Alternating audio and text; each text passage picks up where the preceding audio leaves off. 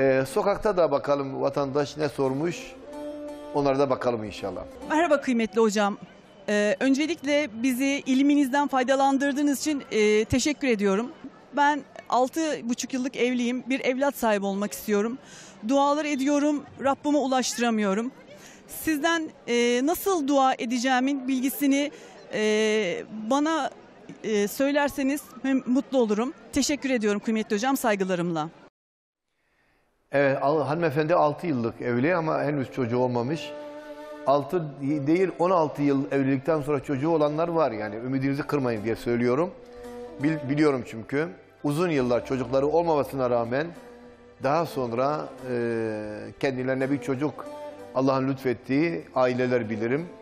E, veya bir çocuğu oluyor sonra çocuk hiç olmuyor sonra 15 sene sonra ikinci çocuğu oluyor. Böyle aileler de vardır. Efendim tabii ki tedavi, öncelikle tedavi olmanızı tavsiye ediyorum birincisi. Bir jinekoloğa girip görünün. Siz de eşiniz de tabii ki. O da bir gere yani işinin uzmanı olan bir doktora gitmeli, görüşmeli. Öncelikle doktorun teşhisi önemli.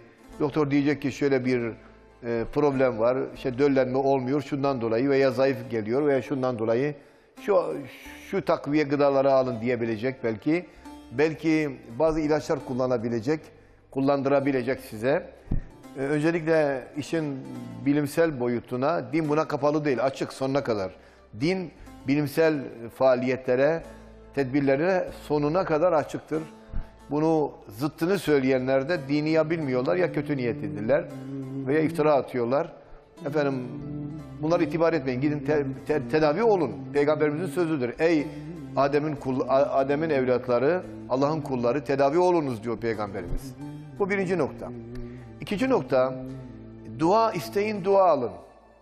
Dua isteyin, dua alın, dua edin. Efendim Hazreti Zekeriya'nın, Hazreti İbrahim'in hayırlı nesil dualarını kendiniz için kullanabilirsiniz. Allah'ım bana e, benim zürriyetimi devam ettirecek hayırlı bir evlat, salih bir evlat nasip eyle.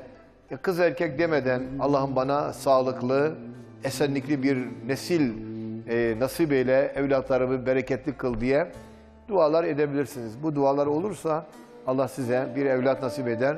Bakın etrafınızda hanımefendiler var. Onlardan dua isteyin. Yaşlı bir teyzemiz var ileride, şu ileride. Ee, o ondan dua isteyin.